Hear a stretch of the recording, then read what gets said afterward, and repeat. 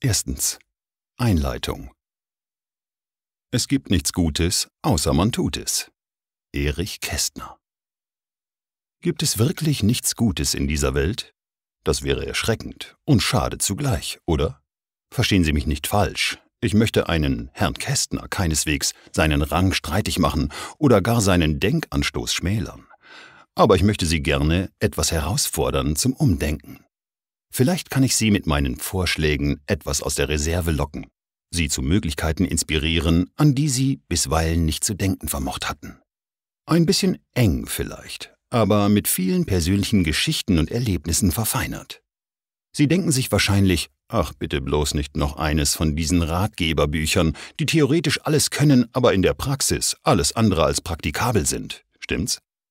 Ich denke, der Markt braucht keinen klassischen Ratgeber mehr, davon gibt es schon genug. Auch möchte ich nicht mit irgendwelchen Thesen und nicht erprobten Floskeln um mich werfen. Vielmehr möchte ich Sie in meine bescheidene Welt mitnehmen und Ihnen zeigen, wie man gewisse Denkmuster durchbrechen und neu interpretieren kann.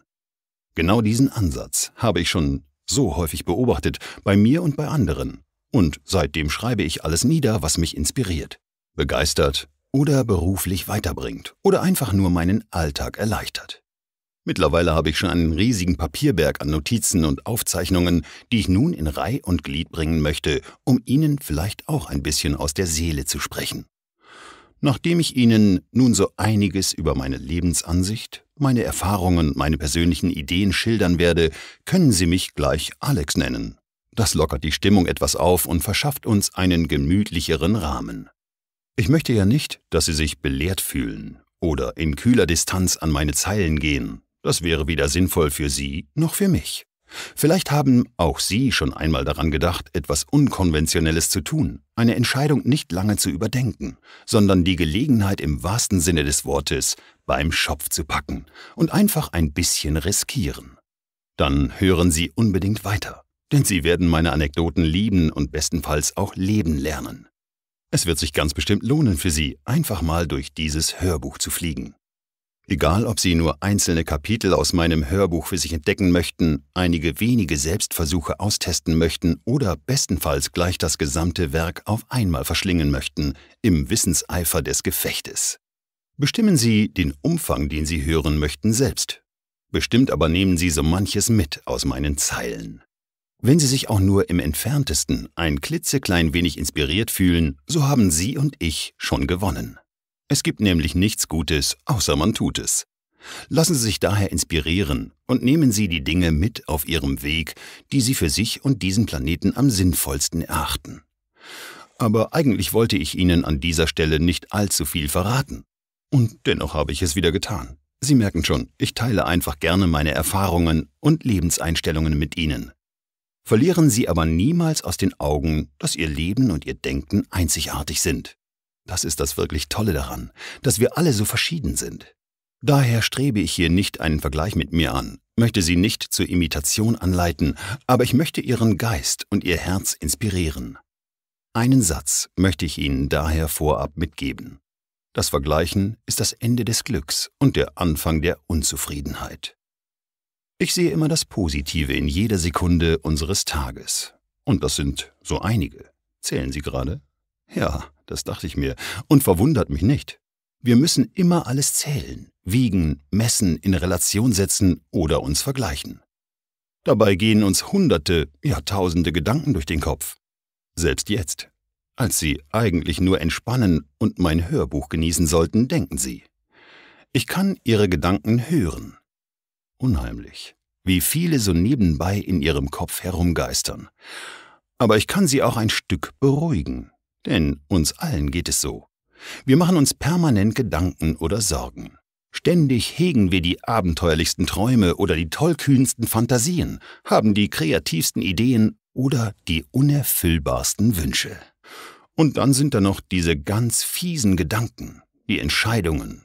Sie fordern uns auf, Verantwortung zu übernehmen, proaktiv zu werden und uns mit uns und unserer Situation auseinanderzusetzen. Rund 20.000 Entscheidungen sind es pro Tag, um genau zu sein. Von Kleinigkeiten wie dem morgendlichen Kaffeegenuss mit oder ohne Milch bis hin zu einschneidenden Ereignissen im Beruf oder Privatleben. Nicht gerade förderlich stellt sich dabei die ständige Reizüberflutung heraus, mit der wir in der modernen Welt spätestens aber mit dem Beginn der Massenkommunikationsmittel und dem Internet tagtäglich konfrontiert sind. Alleine 6000 Werbekontakte, also Kaufanreize, erfährt eine einzelne Person in 24 Stunden. Vom ersten Augenaufschlag an am Morgen, an dem man wahrscheinlich seinen Wecker am Handy noch einmal auf Snooze stellt und ganz unschuldig und verträumt dabei kurz auf Social Media nachsieht, was sich über Nacht so getan hätte. Bis hin abends oder spät nachts vor dem Zubettgehen, wenn man nochmal mit Nachrichten oder Aktuellem aus und von den Medien konfrontiert wird. Wie soll man da noch einen kühlen Kopf bewahren, fragen Sie sich. Auch da sind Sie nicht alleine. Viele versuchen dann ein Mehr an Stress und Belastungen mit ausgiebigem Sport zu kompensieren, mimen die erstaunlichsten Yoga-Positionen von der Schlange bis zum Baum. Apropos Baum. Auch die Natur ist ein wunderbarer Heiler und Seelentröster. Daher scheint es wenig verwunderlich, dass gerade im 21. Jahrhundert Themen wie Waldbaden, also das aktive Erleben eines Waldes mit all seinen Gerüchen und Texturen, wahrlich der letzte Schrei ist. Wenn der Leistungsdruck in der Schule oder im Studium zu groß, die Anforderungen im Beruf zu extrem oder die Herausforderung im Leistungssport zu immens werden, flüchten wir uns alle dorthin, wo wir einmal abschalten können. Raus aus dem Alltag, der Situation und der ständigen Gedankenspirale, rein in ein bewusstes Genießen, Erleben und Fühlen. Dabei ist das Paradoxon an dieser Sache glasklar. Je mehr wir unseren Verstand benutzen, eine seltene und wertvolle Gabe, die nur den wenigsten Lebewesen gegeben ist und weit über den reinen Instinkt hinausgeht, desto mehr sehnen wir uns gleichzeitig nach einer Auszeit. Wir suchen krampfhaft nach Methoden und Möglichkeiten, den zunehmenden Stress und Alltagstrott zu kompensieren. Dabei sind wir durchaus erfinderisch noch eine Portion Schnelllebigkeit im Beruf, noch eine Prise Druck im Privatleben und noch ein Quäntchen Geschwindigkeitszunahme im Alltag. Glücklich macht so ein Lebensstil auf Dauer nicht, das steht fest. Ob hier Effizienz und Optimierung, Gefühl und Seelenheil schlagen, mag ich auch stark anzuzweifeln. Exponentiell dazu wächst die innere Unruhe und das Bewusstsein, einmal eine Pause einzulegen. Wir verbringen so viel Zeit damit, unseren Alltag zu optimieren, unsere Karriere zu beschleunigen und unsere Liebesbeziehung zu festigen, dass uns dabei genau dieselbe verloren geht.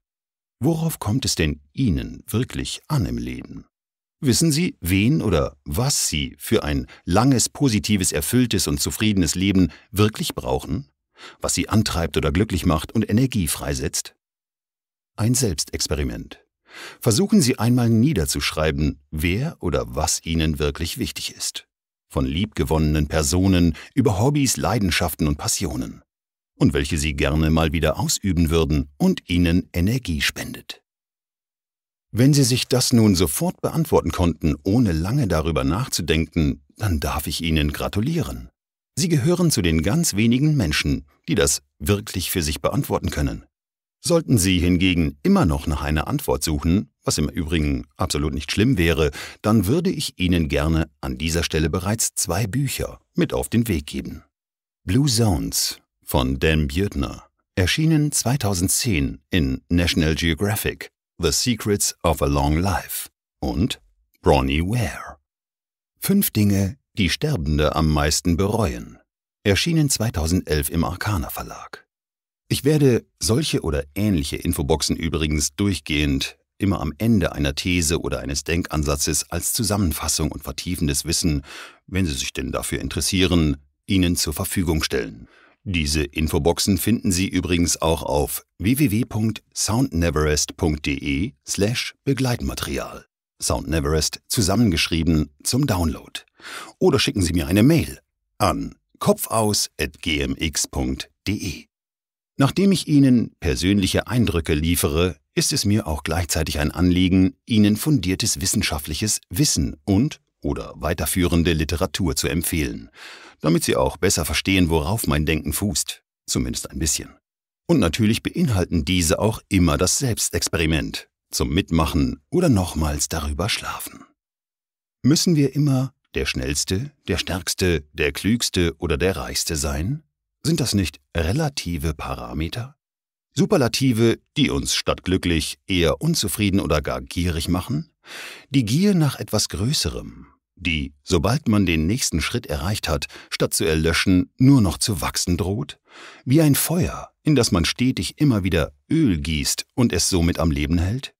Sollten wir nicht lieber ein Werttausch eingehen und uns wieder auf das zurückerinnern, was wirklich wichtig ist und uns darauf fokussieren, wie beispielsweise Zeit mit unseren Liebsten oder einem Hobby, einer Passion? Zeit ist ein äußerst wertvolles Gut. Jeder von uns hat genau 24 Stunden, 1440 Minuten und 86.400 Sekunden am Tag zur Verfügung.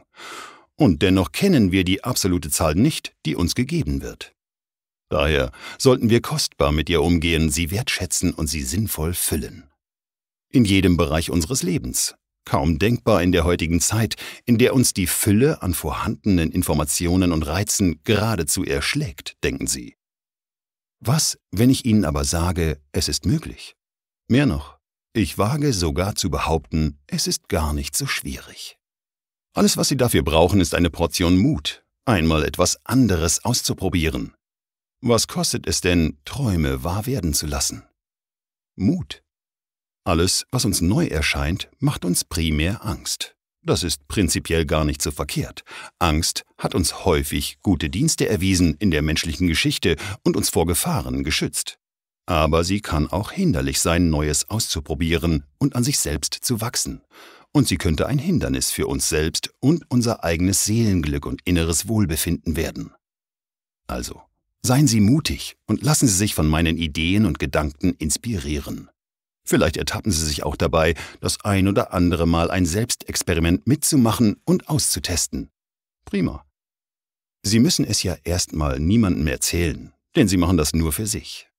Dann darf ich Sie nun mitnehmen in meine Gedankenwelt und Sie mit meinen Überlegungen zu Kopf aus ein bisschen wachrütteln. Oder vielleicht nur mit so manchem Gedankengang ein klein wenig in Versuchung führen, einmal meiner Lebenseinstellung zu folgen und Kopf aus durch die Welt zu gehen.